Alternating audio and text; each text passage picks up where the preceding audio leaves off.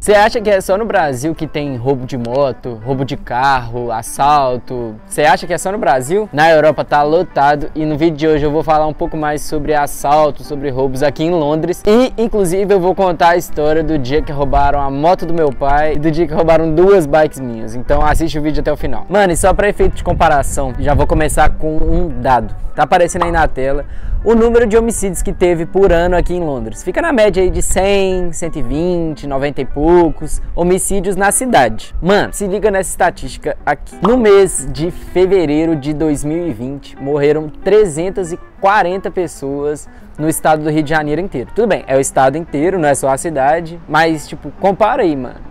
Compara. É bem mais homicídio, bem mais gente morrendo. Tipo assim, não tem como comparar a questão de segurança. Mano, tipo assim, no Brasil a gente tá acostumado com muita violência, muito mais crime pesado. Aqui não tem tanto disso, mas não deixa de ter criminalidade. E tipo assim, o maior foco das pessoas aqui, tipo, o crime que tem mais ocorrência aqui é roubo de moto, de bicicleta, de carro, é, roubo de carteira, de celular, esse tipo de pequenos roubos, assim, pequenos furtos.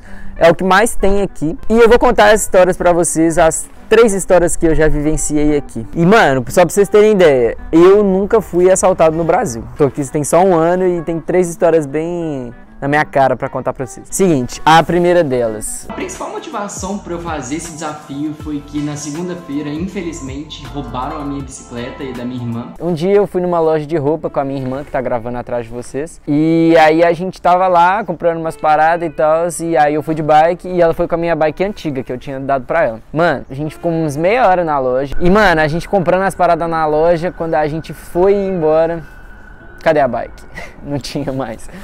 Tipo assim, eu tinha trancado ela com a corrente, mas era uma corrente que não era de aço mesmo, então era só uma tesourona assim, o cara cortava e a galera anda com isso aqui. E aí, infelizmente, a minha bike era meu meio de transporte, meu meio de trabalho. E é muita sacanagem alguém, tipo, roubar uma parada que você usa para fazer seu dinheiro, que você, é seu ganha-pão.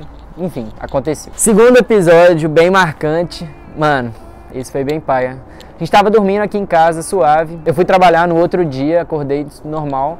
Mano, tava gravando outro vídeo, era o desafio das mil libras. Quando eu saio, meu pai me liga: Pedro, roubaram minha moto. Galera, uma coisa terrível aconteceu. Roubaram a moto do meu pai. Ele me ligou, tava acabando de fazer aquela primeira entrega do Starbucks, roubaram a moto dele. Que situação paia, situação muito triste, né, velho? Realidade de Londres aí pra vocês.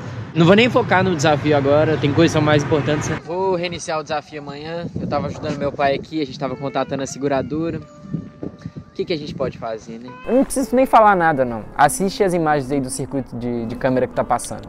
Olha que bizarro, mano. Os caras andam com, sei lá, tipo uma serra elétrica. Cortaram o cadeado da moto, quebraram a direção dela depois eles arrancaram o rastreador, jogaram no rio que tinha aqui do lado. A gente foi lá de manhã, o rastreador tava dando que tava dentro do rio. Tipo assim, a bateria tava do lado de fora. E é isso, mano. Roubaram a moto dele, ele ficou bem triste. Enfim, faz parte também. Os caras entraram dentro da nossa garagem. E isso é Inglaterra, hein, mano. A gente só ouve falar bem, mas tá aí. E um outro episódio não tão marcante, mas também foi assim, que foi bem na minha cara, mano, era pra ter sido comigo. Eu tava saindo de um hotel, também tava gravando vídeo. Não, galera, velho, fiquei tristão aqui agora. Eu tava saindo ali do hotel, virei a rua e vi dois meninos assaltando uma mulher, velho. Você acredita? Mano, toda hora tá acontecendo alguma coisa assim. Eu tô achando que essa cidade aqui. Não sabia que era assim de verdade. Eu tô até com medo de andar com a câmera aqui. Os dois estavam na bicicleta, eles só puxaram o celular da mulher e saíram do pedal, né? Medo, né? E, mano, eu tava saindo do hotel e tinha dois meninos de bike, assim, eles passaram me olhando, só que eu tava, tipo, olhando, assim, eu não tava distraído. E tinha uma mulher logo atrás de mim mexendo no celular, mano. Os caras foram, só fizeram assim, pegaram o celular dela. Tipo, era pra ter sido comigo se fosse eu mexendo no celular, e eu fico mexendo no celular na rua o tempo inteiro. Então, é isso. Perigoso, tem que tomar cuidado, não é porque a gente tá na Europa que não pode acontecer. Mano, minha conclusão é a seguinte: toma cuidado, aonde quer que você esteja, pode ser que você seja assaltado. O mundo é tipo perigoso, não tem como. Principalmente grandes cidades, esse é um problema muito grande de grandes cidades, porque existe desigualdade social, existe gente precisando de dinheiro, gente sobrando dinheiro. Não defendendo quem rouba, porque eu não curto isso, mas também tipo não colocando só o problema na índole das pessoas. Enfim, se tem isso, tem algum motivo e infelizmente isso acontece. É isso, galera. É, são essas minhas notícias para você. Cuidado aí e tamo junto. Até o próximo vídeo. Falou.